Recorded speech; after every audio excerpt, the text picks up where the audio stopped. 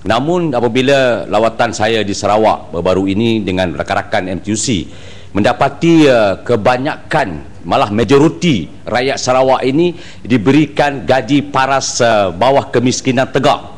Satu kawasan kelang di uh, Saratok,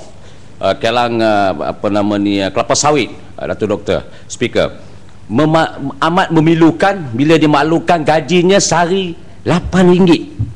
dan kesan ini sudah sampai ke tahap papa kedana dan adakah kementerian soalan saya memberikan pemantauan secara serius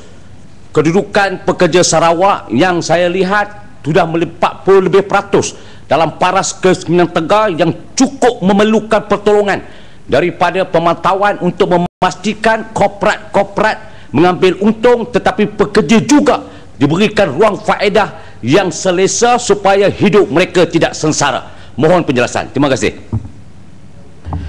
Terima kasih Datuk Yang Dipertua dan Terima Perangasa yang berhormat uh,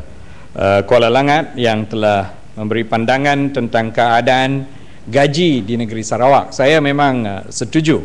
dengan apa yang telah diberitahu oleh yang berhormat uh, uh, daripada Kuala Langat bahawa semasa kita membuat kajian uh, dengan kerjasama World Bank di dalam uh, usaha untuk menetapkan kadar gaji minima Uh, butiran yang diperolehi melalui kajian ini menunjukkan bahawa uh, di industri-industri di dalam uh, Sarawak dan Sabah memang yang gaji yang paling rendah di dalam uh, Malaysia uh, dan uh, salah satu daripada tujuan untuk mengadakan uh,